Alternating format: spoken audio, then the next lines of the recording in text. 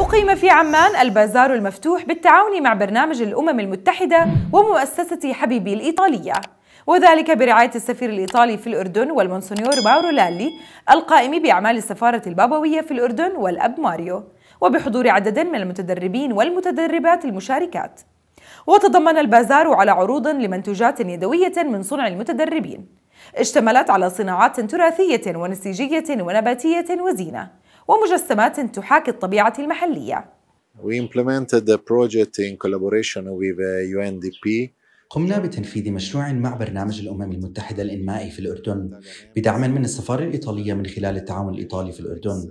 سمح المشروع لمئة شخص مستفيد من المجتمع الموصل الأردني ومئة من المجتمع اللاجئين العراقيين. نعطي الفرصة لأولئك المستفيدين لتعليم وظيفة لثلاثة أشهر من التدريب وثلاثة أشهر من العمل.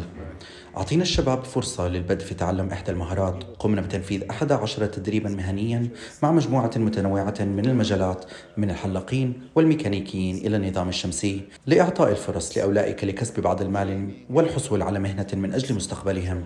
كان الحدث الأخير عبارة عن بازار مفتوح اليوم حيث أتيحت للمستفيدين الفرص لإظهار منتجهم النهائي لأصدقائهم والمتبرعين. لذلك كان حدثا رائعا بحضور السفير الإيطالي وسفير الفاتيكان ومدير الاتحاد. برنامج الأمم المتحدة للتنمية وبعض الشركاء. لقد كان حدثا ناجحا وكان بداية التعاون المستقبلي مع المنظمات التي ستكون رائعة للمستفيدين في المستقبل.